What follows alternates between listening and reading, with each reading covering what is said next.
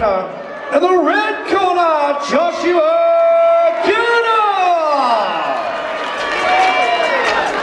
And let's make some noise for our runner-up, Aaron Slade.